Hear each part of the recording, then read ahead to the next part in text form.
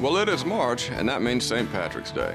St. Patrick was born in Britain, kidnapped, and forced into Irish slavery. After his escape, God called him to return to Ireland, where he is famous for using the three-leaf shamrock to help explain the Holy Trinity.